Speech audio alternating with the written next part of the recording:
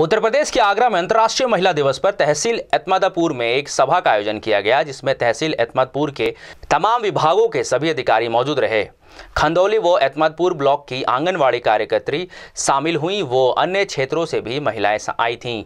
सभी महिलाओं ने अपने अपने विचार व्यक्त किए हैं। पुलिस अधिकारी अतुल सोनकर द्वारा महिला सुरक्षा सौ नंबर डायल वो 1090 की महिला सहायता केंद्र की जानकारी भी दी गई।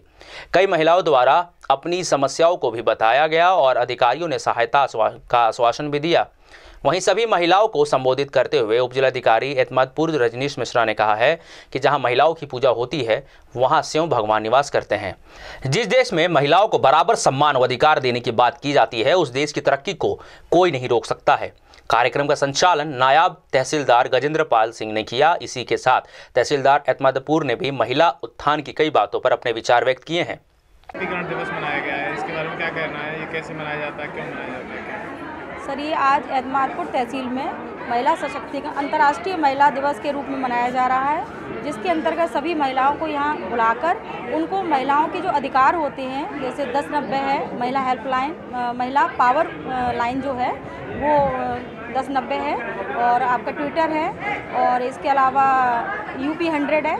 इन सब जो अधिकार हैं महिलाओं के लिए चलाई गई जो सुविधाएँ हैं, उनका प्रयोग वो किस तरीके से करें अपनी आत्मरक्षा के लिए, ये सब मीटिंग के अंतर्गत बताया गया है।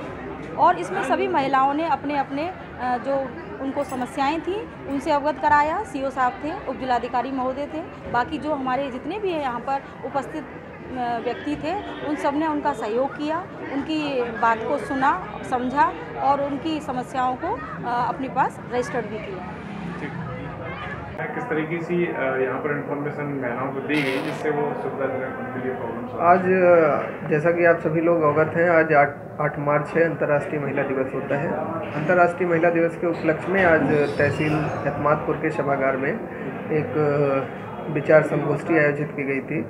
जिसमें मेरे साथ सी ओ एतमादपुर तहसीलदार साहब, नायब साहब C D P O M Y C हमारे पत्रकार बंधु और विभिन्न क्षेत्र की महिलाएँ कुछ शिक्षा के क्षेत्र से थीं, कुछ आंगनबाड़ी कार्यकर्ती थी, कुछ हेल्थ सेक्टर से थी, कुछ अन्य सेक्टर्स से आई थी। सभी ने अपने विचार व्यक्त किए उसमें सर्वप्रथम महिलाओं के द्वारा अपने अधिकारों को रखा गया।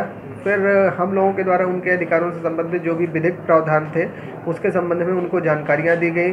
कैसे उनको जागरूक किया जाएगा, इसके संबंध में उनको बताया गया। उनके अधिकारों के प्रति उनको जागरूक करने के लिए ही एक कार्यक्रम का आयोजित किया गया था। जैसे वुमन पावर से संबंधित हंड्रेड नंबर है ऐसी कुछ सुविधाएँ भी बताएँगी जिससे मैं हाँ इन चीज़ों के बारे में उनको dial hundred one zero nine zero इन चीज़ों के बारे में बताया गया और इनसे कहा गया कि इस चीज़ को ये बेझिझक यूज़ करें उनके रिस्पांस के विषय में बताया गया कि इनका क्विक रिस्पॉन्स होता है। उत्तर प्रदेश से सुमेंद्र सिंह की रिपोर्ट।